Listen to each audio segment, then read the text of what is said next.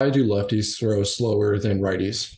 Historically, this has been a thing. It's been easier to recruit lefties um, who throw maybe one, two, three miles an hour slower than righties. It's been easier to get to the big leagues as a lefty with lower velocity, um, less stuff, especially just based off of like new models of stuff plus model. Um, so looking at lefties, there is just overall in human nature, there's a genetic bias and a brain asymmetry bias that doesn't favor left-handed pitching and rotating left-handed anyway. Um, even looking at golf, there's not a million different left-handed golfers who are always winning tours. It's just not a thing. Lefty rotational um, capacity for lefties is a little bit not good, to put it bluntly. Um, rotation for lefties is just not good. There's different ways to compensate through it, and I'm going to try to talk about those ways. So, quick shout out to the Tread Data team, Rylan and Kieran, for running average velocity based off handedness over the last six years here. So, every single year, righties are at least throwing a mile an hour harder. 1.2, I think, is the lowest, getting all the way up to, I believe, like 1.6 or 1.7 um, of the biggest separation there. So, righties are throwing harder than lefties. And this has been a thing for as long as really we can run data for. And I know the hardest pitch of all time is thrown by Aroldis Chapman at, I believe, 105.9. A um, couple things about Aroldis Chapman. Aroldis Chapman's an anomaly. He's super fast, allegedly has beat Billy Hamilton in a 60 or 100 yard dash, whatever it was. Um, more research, you can probably look it up.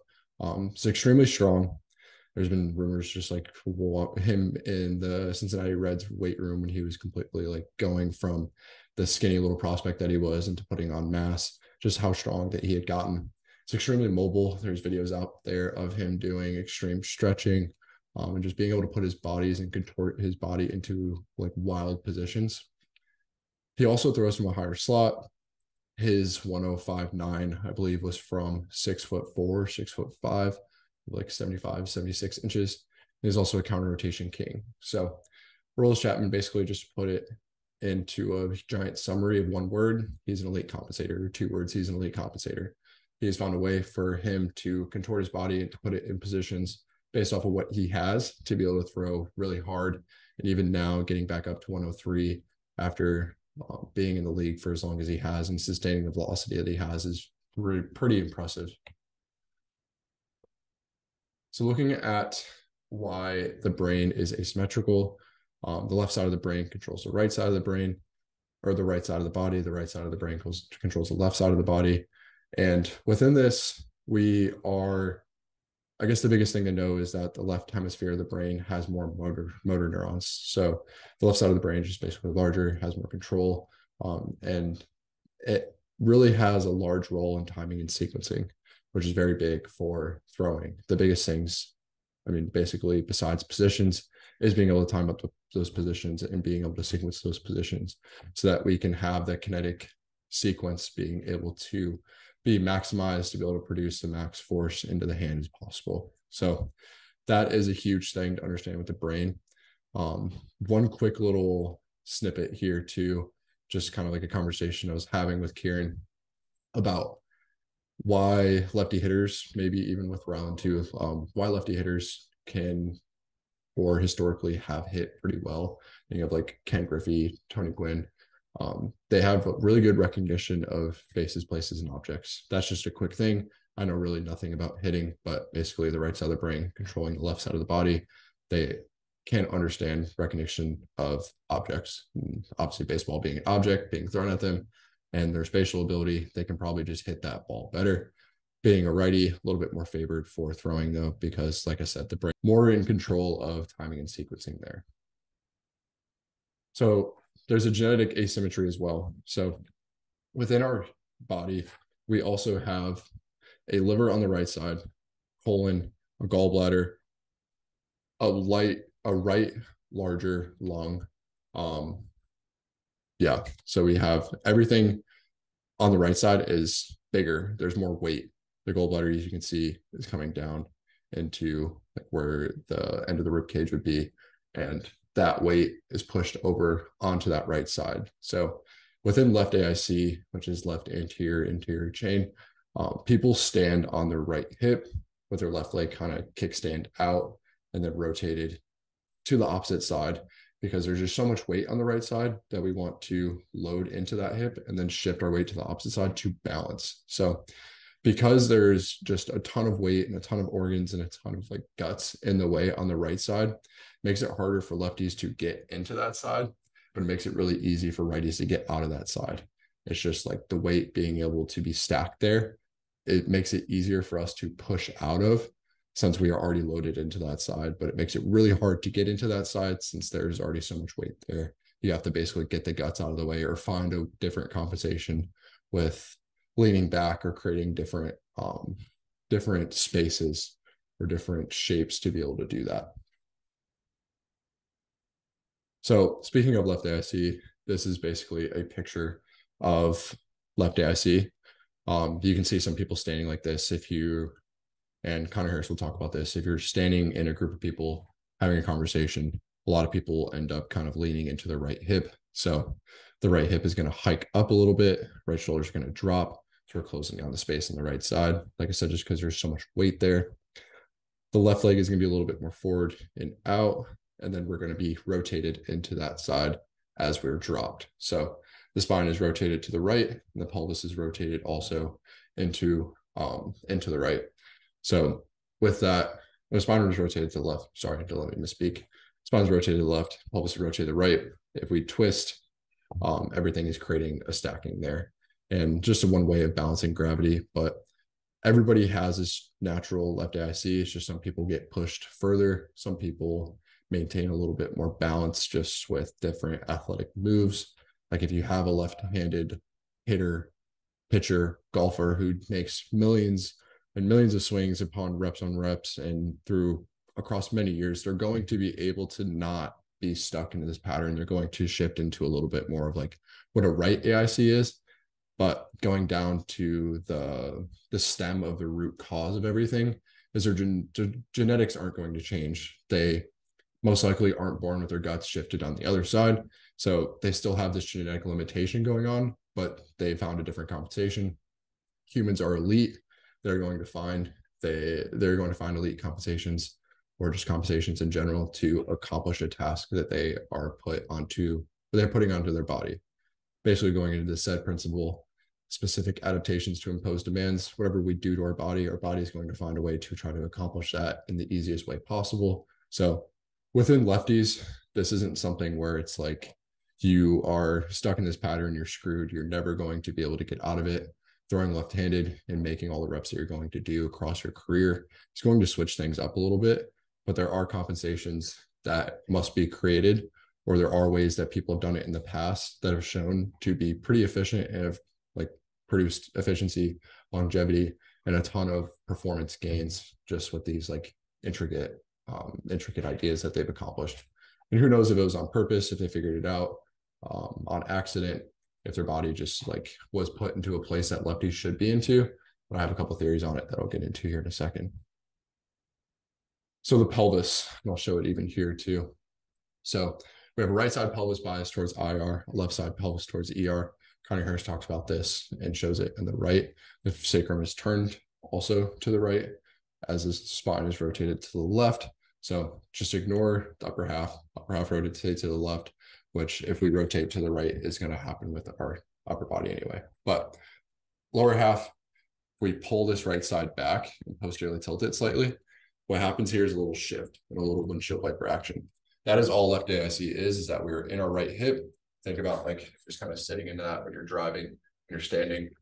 What happens when you sit into it kind of hikes a little bit, you pull it back, that left side opens up. Like I said, it goes forward, it abducts, it's going into extra rotation. As we sit into that right side though, we're getting into a little bit of adduction and interrotation. So we're abducting and flexing and external rotating left side. We're adducting, internally rotating, and slight degree of flexion on the right side. This is what a standing posture is, or how the body is naturally set as well. Um, it's just kind of like the way the pelvis is oriented. So with that, like the right side has what the left side needs, and the left side has what the right side needs. I believe we'll go into that. Yep, we'll go into that right here. So within that, we need to create more interrotation, adduction, and yeah, interrotation, adduction on the left side. Then we need to create a little bit more external rotation and like hip extension on that or hip flexion on that right side. So we need greater degrees of hip flexion and we need um, more degrees of hip extension, hip interrotation on that left side. So basically what we're looking at too with throwers is a left side that is probably biasing a little bit more of an external rotation bias. But like I've mentioned in previous videos, you have to find a way to create internal rotation to be able to produce force, transfer energy, create some extension power as well, and put force in the ground to then transfer that to the front side of the body. So within that, I'll talk about a couple throwers like Diekman, like DL Hall, and like Brailyn Marquez. So Jake Diekman, Turner created a bunch of stuff on him recently as well. Um, I think Diekman's an elite thrower. I've thought this for a little while. And I think the reasons why I always thought that just kind of the way he threw crossbody. Like in my mind, there was a reason why he did it, and I didn't necessarily know why. But I think in my mind right now, I kind of have an idea. So page here. So Diekman, as he goes in the leg lift, gets up to 90 degrees. And then as he comes out of leg lift, he's getting into about 90 degree hip flexion as well. It's roughly there. It's probably a little bit less, um, but he's pretty close. And like I mentioned in other videos too, 90 degrees of hip flexion is biasing the most internal rotation. So he is putting his pelvis into a bias of internal rotation, regardless of whether he has it or not. He's biasing it. So I think one thing that's pretty probably true about Diekman, and I wish I knew for sure, but it seems like he has a little bit more flat feet or can at least collapse his arch. So watching him throw creates a ton of dorsiflexion, creates a ton of like flattening of the arch. To be able to create dorsiflexion, you have to flatten the arch anyway, and also just creating tibial internal rotation. So being able to create dorsiflexion is just pairing, flattening the foot, getting the arch into the ground, and then also pairing that with tibial internal rotation. And then as he's doing that, goes into foot plant. He started by biasing external rotation or creating an external rotation strategy of the back leg, then transferred that into that internal rotation strategy by using the ankle, the tibia, and getting that knee complex to twist as much as possible. So he's using the joint below his hip because lefties just don't have as much internal rotation in that hip. So he's using the joint below rather than the joint above, which if we use the low back, yeah, it can probably work. And Diekman does it a little bit, but he's using the strategy of using the ankle and the tibia because most likely, like I said, I think he has flat feet. And I've seen it with one of my athletes in house, Mason Jones, who has extreme flat feet. We took his orthotics out, had orthotics for maybe like a year, year and a half, took him out and his throw completely changed because he could actually roll his foot into the inside arch, get his dorsiflexion and tibial internal rotation like coupling and being able to actually use the ground with his back foot. So it was really interesting to see that. He immediately started throwing like Diekman. So just going back to Diekman made the assumption like, okay, this guy's probably flat footed. His number one strategy to produce force is probably going to be using that ankle and knee. Like let's let Mason also do that as well. Moving on past just like what he's doing with that lower half, I think he really uses a ton of right leg internal rotation. So looking at his direction, cuts himself off a little bit, but because that right leg has a ton of internal rotation, let's use it. Let's use that to block. And Brailyn Marquez is going to do a similar idea too. We're going to use that right leg. DL Hall also going to use that right leg. So lefties actually have, don't know based off of biomechanical data, lefties have a little bit more of a efficient lead leg block if they can get their pelvis into the position to use it and like I said, if they use a joint below, like they stand a good chance there. So they have a pretty efficient lead leg block. They're able to get that hip to flex, into rotate, adduct, and stop all that energy to be able to send the upper half. I think he does a really good job of that. And then the way he can cheat a little bit for the upper half, not being able to create that like deep horizontal abduction, like layback move. Because I think he uses his low back late, creates an anterior pelvic tilt strategy to buy some hip extension that he's probably missing um, and also is able to come from like deep levels of thoracic flexion into a little bit of whatever he might have for a, I guess just trunk flexion. Don't even be specific about thoracic flexion. It's coming from a deep level of trunk flexion to be able to come back into some trunk extension, whether it's coming from the pelvis, the low back, the mid back, wherever it may be. He's able to create a position for his arm to just set a little bit deeper so he has um, a range of motion to pull through and be able to accelerate the arm. So that's Diekman. DL Hall does a similar thing. I really like Diekman because I think I know his throw a little bit better, but DL does a similar move, but I think his lower half just isn't as mobile and as elite as Diekman's is. DL kind of finds a different strategy. Um, it also throws from a little bit of a higher slot, but DL goes into a little bit of a higher leg lift as he comes down, has a similar load where he's slightly bending at the hip, roughly around 90 degrees, gets into the knee a little bit, uses that foot to collapse, not as much as Diekman, like I mentioned, but it's able to get it collapse a little bit. Knee comes a little forward. So he's pairing ankle pronation with tibial interrotation, using the ankle and the knee to create some interrotation strategy of that back leg. And then, like I said about what lefties can do really well is just be able to use that lead leg, use that interrotation that they have on that side and that ability to like open up space for the guts to just stop the lower half um, uses that really well, and then just throws from a little bit of a higher slot. Like I think he, especially coming out of high school, just had electric range of motion. Being a little bit younger, body hadn't gone through too much stress yet. Um, had elite range of motion, was able to compensate really well. Obviously now he's shown a little bit slower, but the range of motion a little bit less, throwing differently. Um, that's neither here nor there though. When DL is at his best, he does what Diekman does, just in a different kind of fashion. And DL is a little bit shorter too, so it's a little bit harder for him. And then Brailyn Marquez. Brailyn was a prospect, if not still a prospect, the Cubs. Um, haven't seen too much of him throwing at all in the last three years. So very curious what's going on there. But Brailyn uses a different strategy of throwing. Still kind of similar finds a different way to compensate, but he kind of torques up that lead leg and uses that like motion of like creating a, a little bit of an internal rotation strategy coming from a high leg lift, internally rotating it, and then being able to like use that to kind of like torque the pelvis down.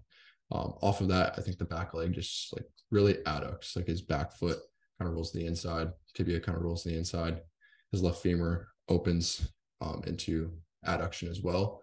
But ultimately, I think that's because of the shape he creates by leaning back, going into leg lift and auto leg lift, and having that just excessive like tilt over into his backside. He's opening up so much space in that lead side of his body to then come into. So basically, you think about it as like a water bottle. You flip a water bottle upside down. The space on the top is open, space on the bottom has water filled when you flip it, now you have space to go back down into the opposite side. So he's using the shapes and fluid to be able to get himself to do the opposite thing. So if he leans this way, he's going to have more range motion to lean that way. Even if he's just going back to the center, he came from back here, and that's just like 30, 45 degrees of motion that he used to come back into the other side. So it's just creating a shape. Um, I know Bill Hartman and Dr. Mike K talk about this a lot, just creating different shapes and like throwing and in golf. Um, and that's something that is pretty shown here with Brailyn. Like I didn't want to use DL and use Diekman because they have similar ish moves. Like I wanted to use Brailyn a little bit just because his move is different, just to show that lefties have different moves and compensations. It doesn't always have to be the same ankle tibia type move. They don't have to completely have that. If they do, great. That's pretty easy. You just look at those guys and it's like, okay, let, let's try to build some strategies like that. Looking at Brailyn, you can use a different strategy of using lateral trunk tilt to be able to open up side space on the other side. And then, like I said, like lefties have a more innate ability to use that right leg to block from lesser um, abduction, lesser external rotation. They can use that to so stride a little bit cross body, plant from a deep level of hip internal rotation, adduction, to be able to pull the pelvis back there. I think Brailyn does a really good job of that. One last note that I did not mention that I just remembered is the upper body too. So hopefully everybody stuck around for this because this is a big one. Lefties have lesser extra rotation and they have lesser horizontal abduction of their throwing arm. So specifically looking at this top right image, the left scap, and even in bench pressing, the left scap is pinned down and back as the torso is rotated this side. So our right scap is more upwardly rotated, protracted, and away from the center of the spine. So we have a very easy ability to get our arm to work back because like I mentioned about shapes, we're coming from a very far forward position. So we have a ton of room to come backwards and pull back from there.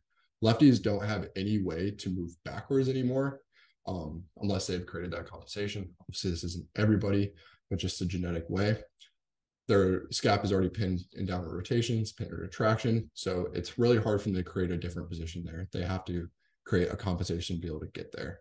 Um, and that's why you see some lefties with pushing arm actions or very early torsos because they're trying to find a strategy to be able to get their arm to flip up from a deeper spot or just from any kind of horizontal abduction. If we take our arm and put it into zero horizontal abduction and just rotate, now we have a little bit of space, but we have an early torso, which you'll see a lot with lefties. And then the extra rotation piece as well is you're not going to be able to create any uh any ER on that backside with the posterior left rib cage completely compressed. So right side, like I mentioned, there's so much so much space there. We can completely drop back. Left side can't really drop back. I'm completely shifted into left left AIC. My body is completely asymmetrical. Like I'm one of the worst. Me and Hunter Townsend are one of the worst. So I have no left ER, have a ton of left IR, no right IR, ton of right ER. So one way to look at the body is it's kind of like cross sectional. So look at the right leg. It has the right side of the lower body has internal rotation. The left side of the upper body has internal rotation. So it's a little bit of a cross piece. The left lower body has external rotation. The right upper body has external rotation. So a little cross connect there. Just the way the body works isn't very like it's not bilateral. It's very unilateral. It's very asymmetrical. And I figured the the lefty external rotation, the lefty um, horizontal abduction piece would be huge for people to know. Just like you have to find a different strategy. That's why a lot of lefties have funky slots, throw in different planes, or they find different compensations, like I mentioned. But hopefully this video was exciting for everybody to listen to as it was for me to create. I love talking about this stuff. Um, lefties out there, if you have any questions, reach out to me about training ideas, training situations. I have a lot of left AIC information that I use with my guys um, and starting to use even more just to try to create some balance here and get lefties what they need and also give righties what they need. A little bit of a righties rolled out here, but lefties also there there's ways to train to be able to accomplish more of a symmetrical body so you can have positions without compensating too aggressively with the wrong joints um, and putting yourself in bad situations you can have those positions um, retrained and get them 5% better that opens up a ton of space for you to be able to move through and feel good. So let me know if you guys need anything but thank you for coming out